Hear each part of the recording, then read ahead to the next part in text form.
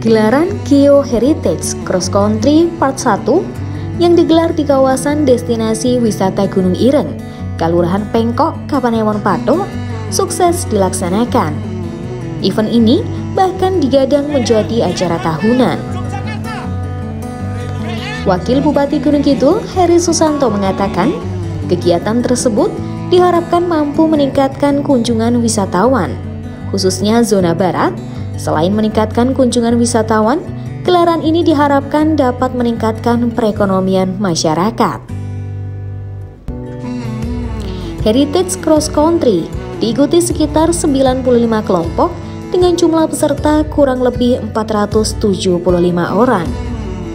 Selain masyarakat umum, gelaran ini juga diikuti perwakilan organisasi perangkat daerah, perwakilan Kapanewon, dan instansi lain seperti Polri dan TNI. Panebu Patok Imam Santosa mengatakan, cross country diharapkan dapat menjadi sport tourism di Gunung Ireng. Menurutnya, destinasi ini memiliki panorama indah namun belum maksimal dalam pengelolaannya. Sementara Kepala Dinas Pariwisata Gunung Kidul, Arif Aldian menyampaikan, Pihaknya menyambut baik gelaran Heritage Cross Country. Acara ini diharapkan dapat masuk dalam kalender of event Dinas Pariwisata.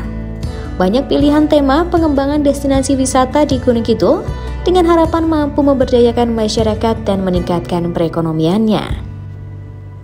Heritage Cross Country Gunung Kidul memiliki rute yang cukup ekstrim, melalui area persawahan, jalan kampung, dan sungai.